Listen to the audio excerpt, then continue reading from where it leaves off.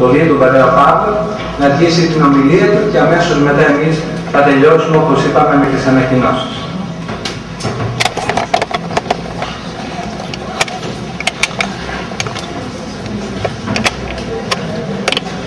με αυτά που είπε ο πατήρ Μαθαίος μας θύμισε το εξής κάποιο μεγάλο ασκητού που λέει ότι όταν ακούς κάποιον να επενεί τον άλλον ο ίδιος έχει φτάσει σε μέτρα αρετής. Λοιπόν, ελέω Θεού και αγάπη Πατρός Μαθαίου και των συνεργατών αυτού βρισκόμαστε όλοι εδώ συνεχμένοι στο σπίτι του Θεού στο παλάτι του Αγίου Δημητρίου. Και ας μας συγχωρήσει ο Άγιος Δημήτριος που δεν θα πούμε κάτι από τη ζωή του, από τους άθλους του και από τον τρόπο που έκτισε αυτό το παλάτι στη γη και στον ουρανό. Δηλαδή θα πούμε κάτι από το μαρτύριο. Γιατί δεν είναι του Αγίου Δημητρίου, γιατί δεν είναι για όλους το μαρτύριο, το αίμα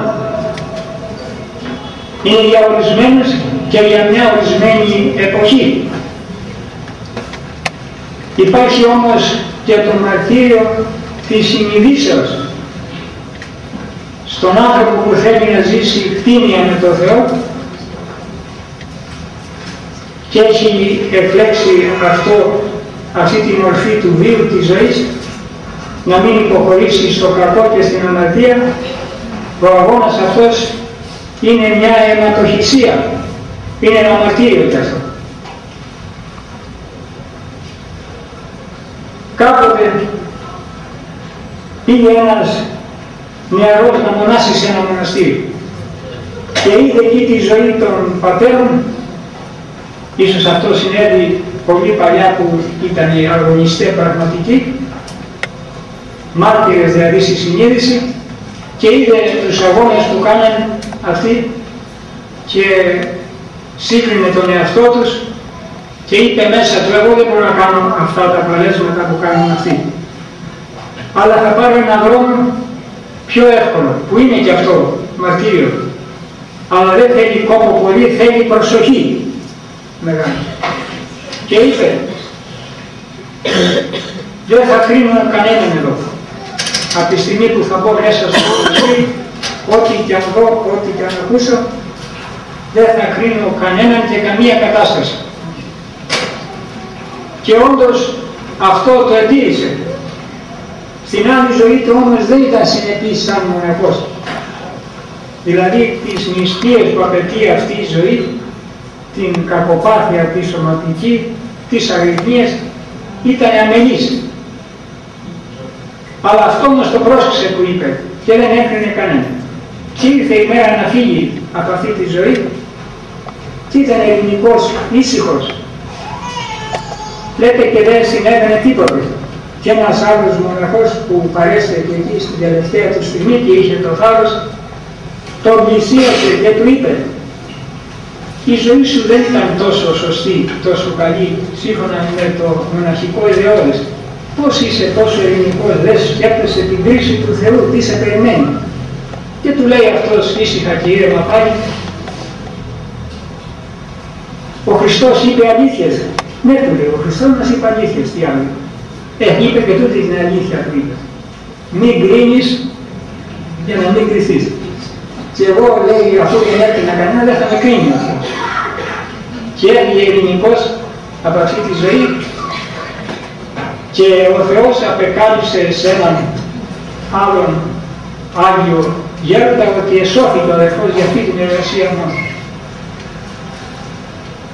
Σκεφτείτε λοιπόν τι μεγάλο πράγμα είναι αυτό.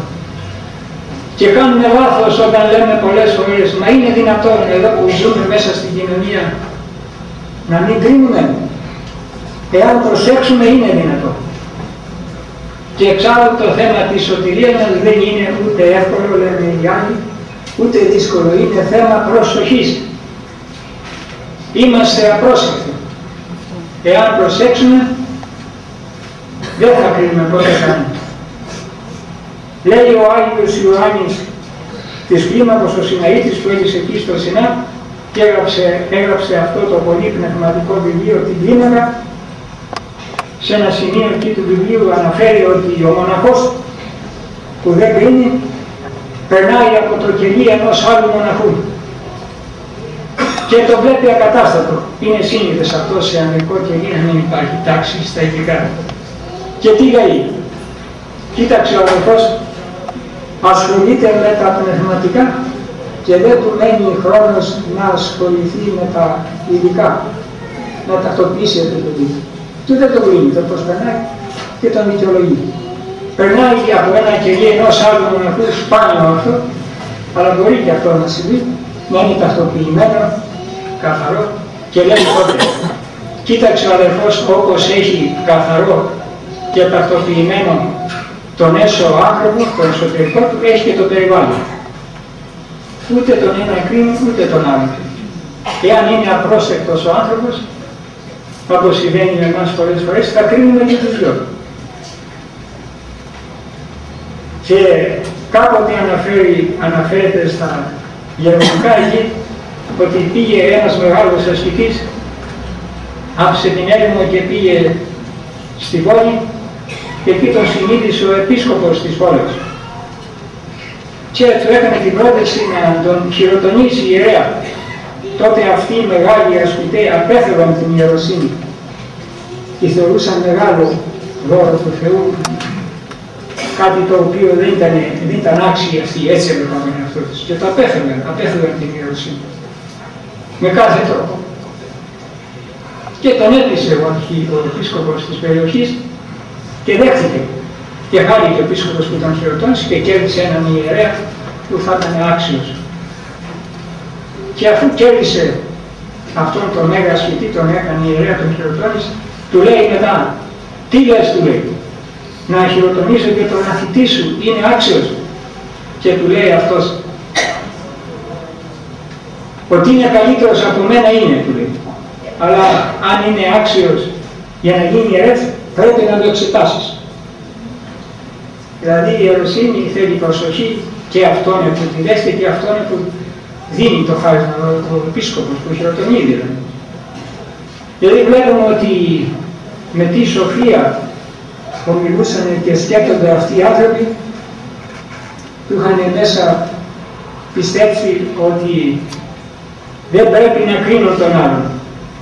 Στον εαυτό τους αυτοί οι άνθρωποι ήταν αυστηρότατοι, αλλά στους άλλους ήταν επικέστατοι. Και αυτό είναι και το γνώρισμα του Αγίου ανθρώπου. Από τους άλλους δεν ξέρει τη ζωή του βέβαια, δεν ξέρουμε τη ζωή των άλλων. Τον εαυτό μας τον ξέρουμε και μπορούμε να τον κρίνουμε, αλλά τον άλλον δεν ξέρουμε. Και πέφτουμε έξω πολλές φορές. Λοιπόν, όταν ο άνθρωπος σκέφτεται έτσι, και έχει αυτό το φρόνημα, έχει μπει στον δρόμο σε μια λεωφόρα θα λέγαμε, που οδηγεί στην ταπείνωση, σε αυτή τη μεγάλη αρετή, που είναι το θεμέλιο της εν Χριστώ ζωής. Και είναι ένας δρόμος σίγουρος και εύκολος για κατακρισία, δηλαδή να μην κρίνει ο άνθρωπος για να φτάσει στην πραγματική ταπείνωση.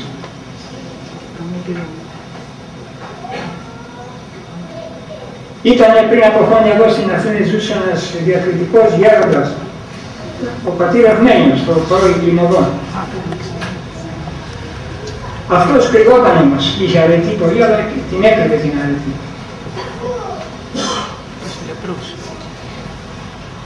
Και δεν έλεγε ποτέ για κανένα τίποτα φυσικά.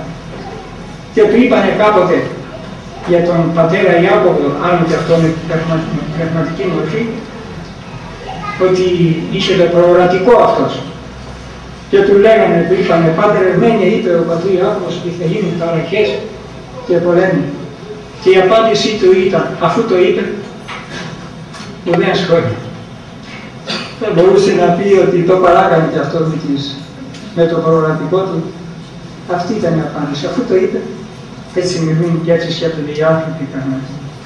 Λοιπόν, ο άνθρωπος αυτός έχει βάλει το θεμέλιο για να κτίσει το πνευματικό σπίτι, το σπίτι της ψυχής. Γιατί η ταπείνωση είναι το θεμέλιο. Αν ένα σπίτι δεν έχει θεμέλιο δεν μπορεί να σταθεί. και αρχίζει να κτίζει το παλάτι αυτό της ψυχής του αφού διαλέξει τα υλικά διότι για να είναι ένα σπίτι υγιεινό πρέπει να έχει και φυσικά υλικά. Και παίρνει τις πέτρες λοιπόν για την οικοδομή που η πέτρα είναι φυσικό υλικό και συμβολίζει την απλότητα. Η απλότητα είναι μεγάλη υπόθεση, δηλαδή να γίνει παιδί ο άνθρωπος. Τότε ο Χριστός μας, αν δεν γίνεται παιδιά, δεν μπαίνετε στη Βασιλεία των Ουρανών. Και αρχίζει λοιπόν την οικοδομή, αλλά ένα σπίτι με ξεροδιτιά δεν εννοείται σπίτι. Πρέπει να έχει και τη λάσπη. Είναι η λάσπη είναι ο σύνδεσμος που συγκρατεί τις πέτρες, να μην γλιστρήσει και γκρεμιστεί το σπίτι. Και λένε οι πατέρες ότι και εμείς ότι η λάσπη είναι υπομονή. Μεγάλη υπόθεση αυτή. Και εμείς μάλιστα λέμε όχι η υπομονή θέλει ζωή, θέλει υπομονές. Και κάποιος έλεγε αν τα πράγματα δεν έρχονται όπως τα θέλουμε, να τα θέλουμε όπως έχουν. Γιατί πολλές φορές στη ζωή συμβαίνει και παράδοξα. Έρχονται οι δοκιμασίες, οι ασθένειες, άλλα προβλήματα τα οποία δεν τα θέλουμε. Αλλά ο Θεός γνωρίζει που τα επιτρέπει αυτά πάντα για το καλό. Και εδώ είναι η υπομονή λοιπόν, η λάσπη που συγκρατεί τις πέτρες για να εξωθεί το οικοδόμημα. Το οικοδόμημα. Και υψώνεται το οικοδόμημα και φτάνει σε αυτό το ύψος το πραγματικό αλλά ένα σπίτι όσο καλό είναι χτισμένο δεν νοείται σπίτι άμα δεν έχει τη σκεπή του. Ο Άγιος Ιωάννης Κλίμακος στην κλίμακα των αρετών που γράφει στο βιβλίο του λέει ότι η αγάπη που την αναφέρει και στο τέλος των λόγων είναι το πλήρωμα, δηλαδή όταν ο άνθρωπος φτάσει εκεί έκτισε το σπίτι το πνευματικό, το παλάτι το έκτισε. Αλλά δεν μπορεί να νοηθεί και ένα σπίτι πραγματικό αν δεν έχει τους σουβάδες. Είναι ένα γιαπί. Αν δεν είναι σπίτι ασουβάτιστο, το λέμε γιαπί. Λοιπόν, ο σουβάς είναι η ελεημοσύνη και η ελπίδα. Τα δυο αυτά. Και ομορφαίνουν το σπίτι βέβαια πράγματα σωματιστεί, μοιάζει, είναι σπίτι. Έτσι και τη ζωή μας, αυτές οι μεγάλες αρετές, την ομορφαίνουν και, την, και δίνουν νόημα στη ζωή μας, παίρνει νόημα η ζωή. Και δεν χρειάζεται πόπος μεγάλος από αυτές τις αρετές. Μην ανοίξουμε ποτέ την πόρτα της απελπισίας, της απογνώσης. Έχει ο Θεός. Ό,τι και αν συμβαίνει. Και στους ανθρώπους τους σημερινούς που ζουν κοντά μας και βλέπουμε ζουν με αγωνία, ζουν αυτό το άγχος που λέτε εσείς, σημαίνει έλλειψη ειρήνης, άρα και ελπίδος. Η ελπίδα δεν κατεσχύνει ποτέ. Και έτσι λοιπόν ομορφαίνει το σπίτι, το παλάτι, και μένει ο φωτισμός. Δεν πρέπει να έχει και φωτισμό, έστω το πιο μακρό φωτισμός το σπίτι. Ο φωτισμός είναι η προσοχή, διότι είναι φως, η προσοχή είναι φως, ουράνιο φως. Είναι ο ίδιος της ψυχής μας το άνθος της εν Χριστώ ζωής είναι η προσευχή. Λοιπόν, τότε πλέον όταν φτάσουμε εκεί και μην περιμένουμε να νιώσουμε κατάνοιξη μεγάλη για να προσευχηθούμε. Εμείς να προσευχόμεθα και ο Θεός θα μας δώσει το χάρημα αυτό να φτάσουμε κάποτε να χτυπάει η καρδιά μας μόνη της χωρίς βία για το Θεό. Εμείς λέει κάποιος νεαρός είναι ένα σκητή μεγάλο του λέει προσεύχομαι αλλά δεν καταλαβαίνω τι λέω, ο νους μου θέλει. Του λέει να πεις και αν εσύ δεν καταλαβαίνεις τι λες ο Θεός καταλαβαίνει. Και καταλαβαίνει και ο διάβολος τι θέλει να πεις και το βάζεις στα πόδια. Λοιπόν, έτσι το κλείσαμε το σπίτι και έχουμε ένα παλάτι δημιουργήσει με όχι πολλούς κόπους, αλλά κυρίως με προσοχή. Θα πει όμως κάποιος ότι ξεχάσαμε να μιλήσουμε για την επίπρωση αυτού του σπιτιού. Αυτό είναι πολυτέλεια βέβαια. Αλλά πρέπει και αυτό να έχει κάποια στοιχειώδη επίπλωση. Η διάκριση, αυτή είναι μια μεγάλη αρετή, που έρχεται μετά από την κατόρθωση όλων των αρετών, δηλαδή πρέπει ο άνθρωπος να έχει κατορθώσει, να έχει πραγματώσει όλες τις αρετές και αυτή την αγάπη για να έρθει η διάκριση. Είναι μια έλαμψη από το Θεό, είναι ουράνιο πράγμα η διάκριση. Και με λίγα λόγια μπορώ να πούμε διάκριση είναι σε κάθε στιγμή να κάνουμε αυτό, το σωστό, αυτό που θέλει ο Θεός. Αυτό είναι η διάκριση. Διότι υπάρχει κίνδυνος να πέσουμε σε λάθη και ο διάβολος να μας κερδίσει και κάνοντας και το καλό ακόμα. Και έχει αυτή η μεγάλη αρετή και μας επαναφέρει στον ίσιο δρόμο. Η διάκριση είναι μίζων πασών των αρετών, λένε οι Άγιοι, δηλαδή είναι η μεγαλύτερα όλων των αρετών, η διάκριση. Υπήρχαν Άγιοι και ασκητές εκεί που σκύψαν στην έρημο και εκατόρισαν μεγάλες αρετές και τον αφέρει ο Άγιος Ιωάννης Κλίμανας. Αλλά επειδή δεν είχαν αυτή την αρετή της διακρίσεως, επλανήθηκαν. Και είναι τραγικό κανένα να αναβαγίσει στο πέλαγο, στον ωκεανό, στον κόσμο μέσα που ζείτε εσείς, δικαιολογείται να, να, να βαγίσει στο λιμάνι, διότι η έρευνα συνοείται ότι είναι λιμάνι. Είναι πιο τραγικό, καταλαβαίνετε διότι έλειπε αυτή η μεγάλη αρετή, ξέπεσε, έφυγαν από τον σωστό δρόμο. Και αυτό βέβαια είναι δώρο του Θεού, ο Θεός το δίνει στις ψυχές που γνωρίζει ότι είναι άξιες να κρατήσουν αυτό το μεγάλο χάρισμα. Δεν είναι κατόρθωμα κυρίως δικό μας αυτό, το να αποκτήσουμε τη διάκριση.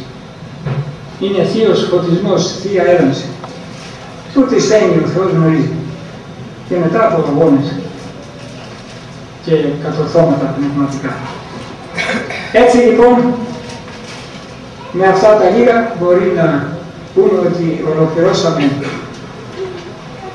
την οικοδομή, πείσαμε αυτό το παλάτι και ευχόμεθα σε όλους μας εκεί μέσα να νιώσουμε αυτή τη ζεστασιά του σπιτιού, διότι πολλές φορές επισκεπτόμεθα ένα σπίτι που του λείπουν στοιχειώδη πράγματα, μπορεί να υπάρχει φτώχεια. Αλλά λες, αυτό το σπίτι έχει μια ζεστασιά. Υπάρχουν αυτές οι αρετές που δεν φαίνονται και είναι αυτές που κυρίως ζεσταίνουν και αυτούς που κατοικούν εκεί και τους κάνουν ευτυχισμένους, αλλά και τους επισκέπτες. Και εμείς λοιπόν να ευχηθούμε ολόκληρο στο Θεό να πτήσουμε αυτό το παλάτι με τις προσευχές των Αγίων και του Αγίου Δημητρίου που βρισκόμαστε σήμερα εδώ στο σπίτι του και το λοιπόν Αγίο και της Αναστασίας που αναφέρεται στην παράκληση εδώ πέρα πολλές φορές τα τροπάρα αναφέρεται στην Αγία Αναστασία και της Αγίας Εκατερίνης που είναι κολυβούχος του σήμερα. Πάτε να φέρει. Έχετε έρθει να υποβάλλετε την ευκαιρία να ρωτήσει κάποιος κάτι, δεν ξέρω αυτό. Αν θέλετε να ερωτήσετε κάτι, έχουμε ακόμη 20 λεπτά στη διάθεσή μας. Είναι ευκαιρία, μην αφήσουμε τον πατέρα Παύλο να φύγει, διότι εμείς θα χάσουμε. Εγώ θα κάνω μια ερώτηση για εσάς για να ανοίξω την όρεξη. Θα ήθελα, Πατέρα Παύλε, να μας πείτε, σαν να διαβάζουμε για ερωτικό, ωραίες ιστορίες από αυτές που γνωρίζετε και έχετε ζήσει στο μοναστήρι σας, από ανθρώπους οι οποίοι έζησαν στη Μονή του Σινά ή κοντά στο μοναστήρι σας και σας μίλησαν και σας απεκάλυψαν γεγονότα και ωραίες συμβουλές σας έδωσαν για την πνευματική ζωή που εμείς δεν τις ξέρουμε, αλλά εσείς όμως σαν ταμείο που είσαστε και τράπεζα και πολλά ξέρετε και πολλά η μνήμη σας συγκρατεί. Δώστε και σε εμάς λίγα σίγουρα. Λοιπόν, να πούμε την ιστορία με τον Άγιο Ιωάννη τον Σαβαΐτη. Αυτός ήταν ο μεγάλος ασκητής, δεν έμενε στο μοναστήρι, στο κεντρικό της Αγίας Καθηγής, αλλά έμενε σε ένα ασκητήριο κάπου 40 χιλιόμετρα μακριά από τη Μονή. Τώρα είχε την επωνυμία του Σαββαρίτη, ήταν στον Άγιο Σάββα στα Ιεροσόλυμα και ήρθε εκεί μετά και μόνασε, δεν νομίζω ότι είναι αλήθεια αυτό, μπορεί να είναι αληθές αυτό. Ήταν άνθρωπος μεγάλης αρετής. Και πήγανε κάποτε μια ομάδα από μοναχούς από το μοναστήρι της Αγίας Καθημερινής να τον επισκεφθούν. Και χάρη ωφελίας, δηλαδή να τους πει κανένα λόγο πνευματικό, όπως φαίνεται σήμερα. Και αυτός ο ασκητής τους ρώτησε όταν πήγανε για κάποιον μοναχό που δεν είχε καλή φήμη. Του λέει πώς έχει ο αδερφός το τάδε. Και του λένε αυτοί οι αδά του λένε είναι στην ίδια κατάσταση. Όπως ήταν, δεν είχε διορθωθεί. Και είπε αυτός, ουφ, δηλαδή σαν να αγανάκτησε λίγο. Και έπεσε σε έκσταση και βρέθηκε στο Γολγοθά. Και πήγε να προσκυνήσει τον Σταυρωμένο, τον Χριστό, και λέει ο Χριστός μας στους αγγέλους που παρέστηκαν, αυτόν διώξτε τον μακριά, είναι αντίχριστος. και έκανε, λέει, όταν συνήθε του έλειπε το παλιό, το ράσο του εξώρας. Και έκανε 7 χρόνια για να μετανοήσει γι' αυτό το ουφ.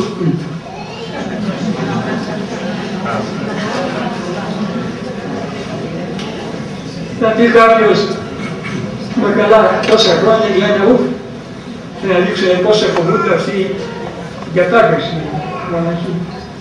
Και εκεί αυτό το άνθος, ε, στην έρημά άνθος ευλογή. Αυτό. Όλοι οι πατέρες. Και ο Σελνίος, ο Συναήτης πέτυχε εκεί, ομιλεί γι' αυτό και ο Άγιος Ιωάννης Κλίμακος που αναφέρει προηγουμένως και αυτός ο μεγάλος ασκητής. Λοιπόν, οι τέτοια συνέβησαν πολλά εκεί. Πάτερ, τι είναι. Και αυτά που έγραψαν αυτά είναι πολύ δυνατά αυτοί που έζησαν εκεί. Και η κλίμακα του Αγίου Ιωάννου Σπύρου και του Οσίου Νίκου τα ασκητικά και του Αγίου Ιγωρίου του Συνεήτου περί προσευχής των Αγίων Αναστασίων Γιατί ήταν θεμελιωμένα αυτά στη βαθιά ταπείνωση, στην ακατακρισία.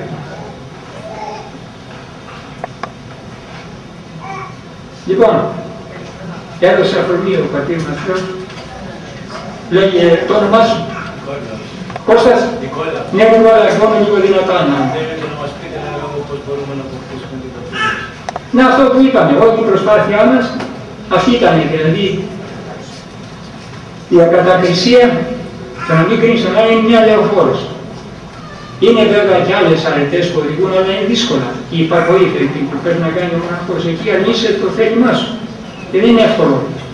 Όλα μπορεί να, να, να τα αρνηθείς στη ζωή σου, αλλά το θέλημά σου δεν το αρνείσαι. Και είναι δύσκολος ο δρόμος αυτός, είναι μαρτύριο, αλλά το να μην κρίνεις είναι πολύ πιο εύκολο. Θέλει προσοχή βέβαια. Αυτό είναι το ζητούμε. Λοιπόν ένας δρόμος σίγουρος είναι αυτό, γι' αυτό και τον αναφέραμε και δώσαμε τόσο βάρος στην ομιλία μας γύρω από αυτό το θέμα.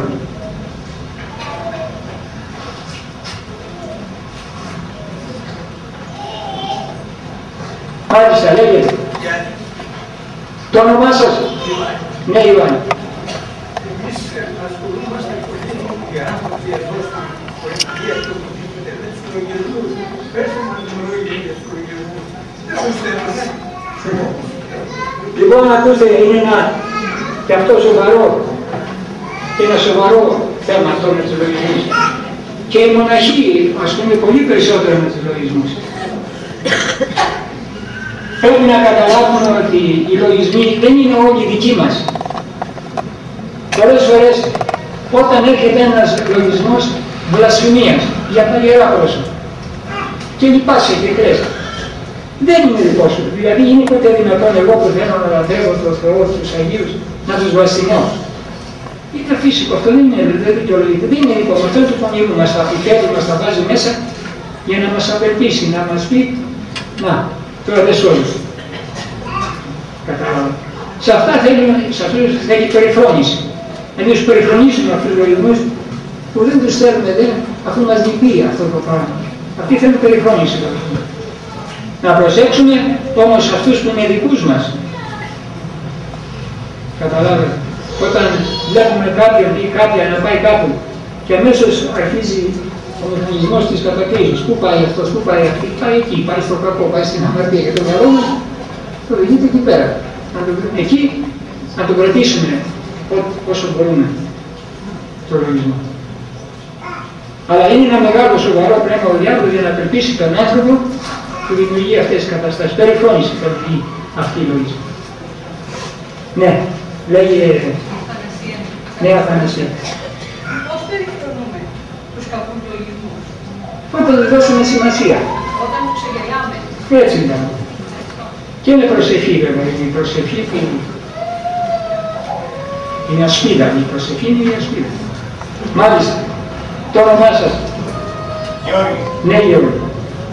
Γέροντα, πολλές φορές ε, στην μου παρουσιάζεται ο διάβολος ως ή άγγελος σκοτός. Πόσοι μοναχοί τον γνωρίζουν, εάν είναι άγγελος από Θεού ή άγγελος από διάβολο. Κοιτάξτε, λένε στα ασκητικά κάποτε του παρουσιάστηκε ο δαίμονας στον ασκητή και του λέει και νυν και αεί και εις τους αιώνας των αιώνων αμήν. Και λέει ο ασκητής παράξενο, του λέει πες δόξα πατρί και Υιό και Αγίο Πνεύματι και νυν και αεί. Αυτό είναι η σωστή δοξολογία του και νυν και αεί χωρίς τη δοξολογία δεν είναι τίποτα. Δεν το λέει. Το εξαφανίστηκε. Τότε κατάλαβε ο ασκητής χωρίς ότι δεν ήταν αντιοχή, ήταν φοβερός. Υπάρχουν σημεία, αυτά είναι, είναι ο άνθρωπος διακριτικός. Να έχει ταπείνωση, να μην, γιατί μπορεί να του πει ο, ο Θεός, ότι τώρα εσύ με αυτά που έκανες, ε, καθώς δεν είσαι όπως οι λοιποί άνθρωποι, είσαι πιο ψηλά, δεν πλησιάζει την αγιότητα. Αυτά είναι τα αντικείμενα. Να μην πιστέψει. Και όπως ο Μέρας Αντώνιος έφευγε από αυτή της ζωή και του λέει ο διάβολος με νίκησες Αντώνη. Του λέει όχι ακόμα, του λέει πριν. Μέχρι την τελευταία στιγμή που έκλεισε τα μάτια του, τότε είπε με τη χάρη του. Αλλά μέχρι ακόμα του λέει όχι, του λέει, δεν είμαι, δεν ξέρω άνθρωπο, μπορεί να φτάσει το Καταλάβατε, είναι όταν ο άνθρωπος να μην γίνει το ρήγμα στη συνείδησή σου και στη συνείδησή του και πιστέψει ότι αυτός κατόρθωσε κάτι, το πιάσει ο εγωισμό. Αυτό είναι το επικίνδυνο. Από εκεί και πέρα ο Θεός τα οικονομεί, τον φωτίζει και το καταλαβαίνει από πολύ μακριά ότι είναι του πονηρού.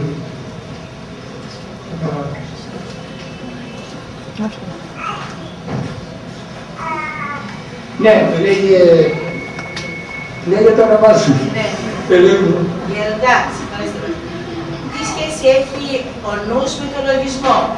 Έχει καμιά συνάφεια, έχει σχέση, γιατί άλλο λένε έχει το νου σου και άλλο λένε το λογισμό σου.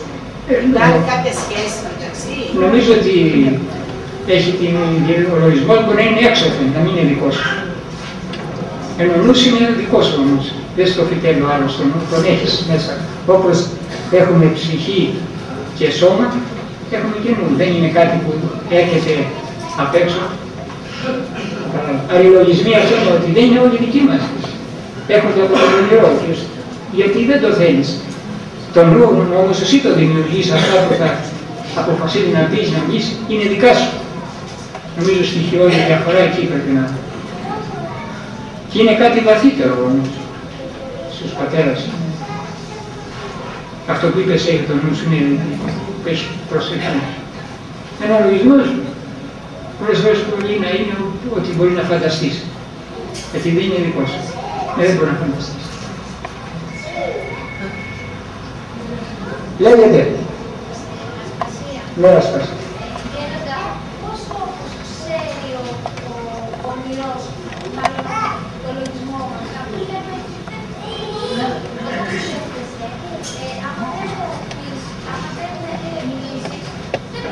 Μπορεί να είναι. Δεν έχει, λένε οι πατέρες, Να σου πιστέψει. λένε οι πατέρες ότι ο Κομιρός δεν έχει το προγραμματικό. Αλλά από ορισμένα που κάνουμε εμείς αποτιμήσεις, συμπεραίνει αυτός. Ή- Ήταν ένας μοναχός σε ένα σπιτίο, σε ένα κελί. Και πήγαινε εκεί μια κουκουβάγια και που συνέχεια, δεν τον άφηνε συνέχεια. Και λέει δεν αντέχω, θα σηκωθώ να φύγω από εδώ. Και πάει σε ένα άλλο κελί, πάλι κουκουβάγια. Λοιπόν, άλλαξε πόσα μέρη, συνέχεια αυτό. Και στο τέλος επέτρεψε ο Θεός, εκεί που πήγε, του λέει, τι κάνεις όλη αυτή την ταραχή, του λέει, αφού εγώ έχουμε προ- πρωτού από σένα, του λέει εδώ πέρα. Μίλησε που κουβά. Και του είπε, εγώ έχουμε πρωτού έρθεις εσύ εδώ. Κατάλαβες, τον περίμενε ο διάλογο. Από τις κινήσεις, από αυτά, συμπεραίνει και μας δεν έχει το προγραμματικό. Γιατί αν είχε το προγραμματικό θα ρωτήσω κι εγώ τώρα. τώρα. Πάτερ, και εγώ ήθελα να ρωτήσω κάτι. Ναι, Κυριακή μου λέτε. ναι, κύριε. Στους πρωτοχριστιανικούς χρόνους, μέσα στην εκκλησία, όλος ο λαός και ο κλήρος μετήχε στη λατρεία. Έτσι δεν είναι; Τώρα όμως έχει καταντήσει, από ό,τι βλέπω, ένας παπάς, ένας διάκος, δύο ψαλτάδες το πολύ πολύ ή το πολύ πολύ δύο, ένας χορός από τη μια και ένας χορός. Όλοι οι άλλοι είναι θεατέ και ακροατέ. Πέστε μου, εσείς στις, στα μοναστήρια όλοι μαζί δοξολογείτε το Θεό. Γιατί αν εμείς αρχίσουμε ή ψέλνουμε ή αυτό αρχίζει ο κάθε σώπα, σταμάτα. Ή εμάς τις γυναίκες ας πούμε δεν μας δέχονται στο ψαλτήρι. Γιατί δηλαδή εμείς τι είμαστε, λέπρα έχουμε; Για πέστε μου, γιατί και εμείς δεν θέλουμε να δοξολογήσουμε τον Θεό. Δεν έχουμε δικαίωμα να ψάλουμε. Όμως ξεκίνησες, ξεκίνησες, ξεκίνησες πολύ απλά, έθιξες πολλά θέματα. Και πρέπει να τα ξεκινήσουμε, γιατί είναι πολλά θέματα.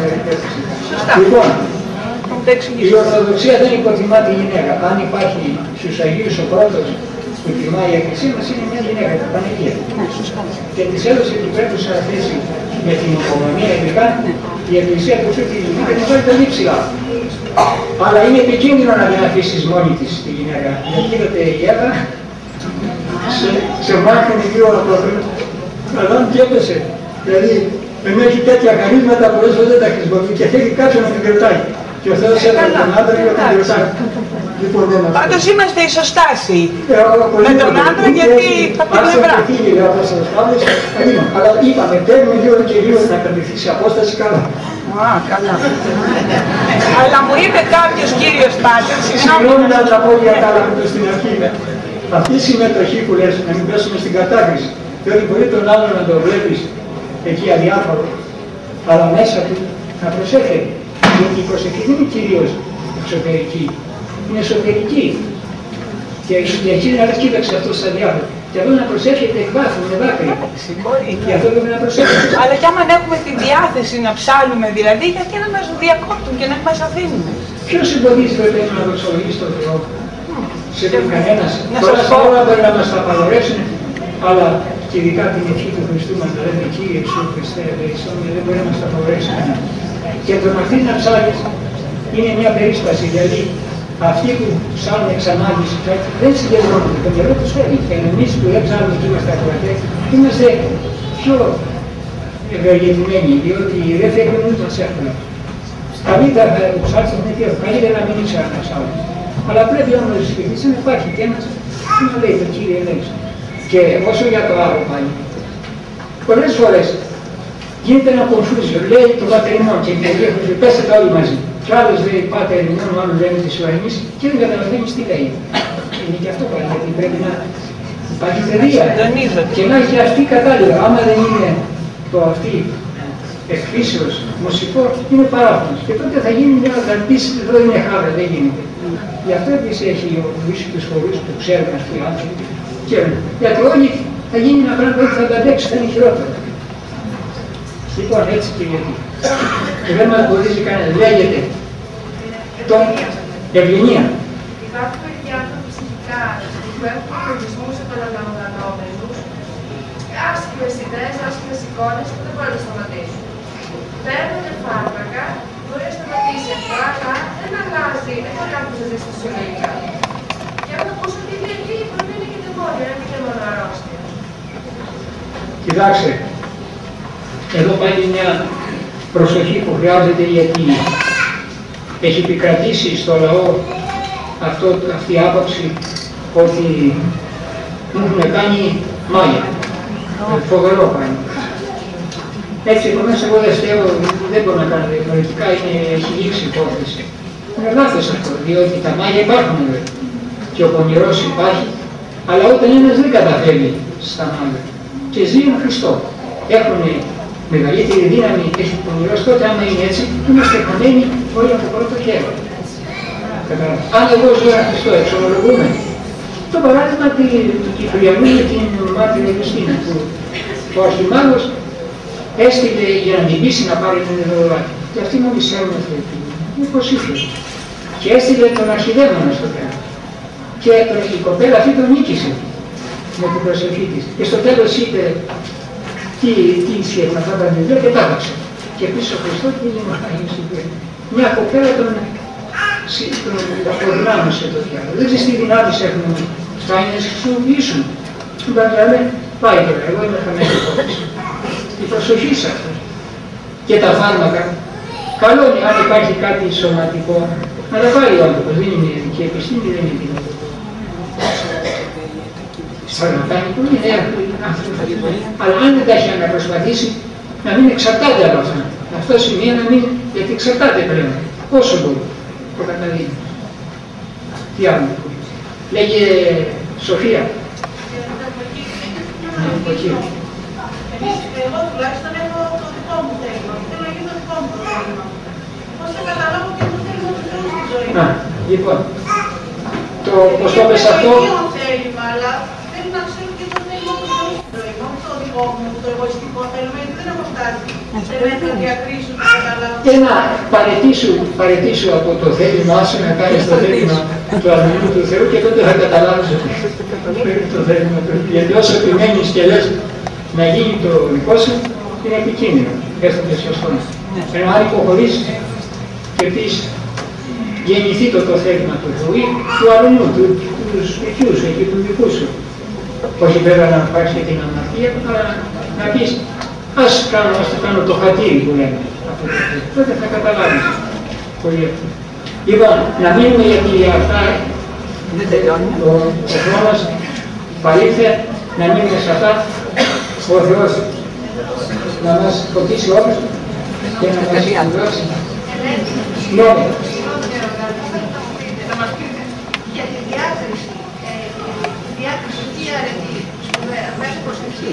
Πώς θα Όταν είπαμε αγωνιστούμε και κατορθώσουμε όλες τις αρετές, την ταπείνωση, την υπομονή, την ελεημοσύνη, την αγάπη, έρχεται στο τέλος. Σαν Στέφανος, το Θεό Λοιπόν, ο Χριστός από το μέσο ημών.